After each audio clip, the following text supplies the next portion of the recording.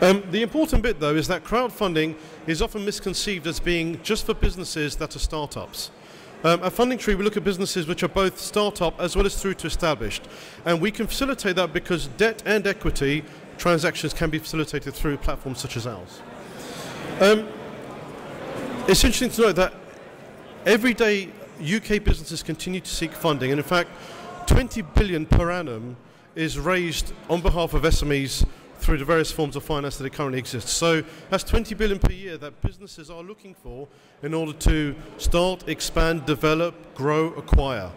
Um, and at the moment, as we've seen throughout the, last couple of years, there are still there are still significant barriers to entry for many of those businesses looking to, to raise that funding.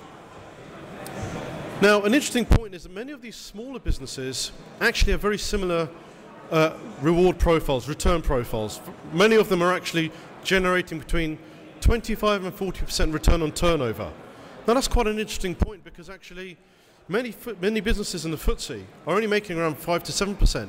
And through that, they have to obviously reward investors through dividends, these sort of things. So actually, lots of smaller businesses, whilst not glamorous in their appearance, actually have a slightly more higher tolerance to sustain fluctuations in business cycles. But, you know, these are everyday businesses that we see on the street.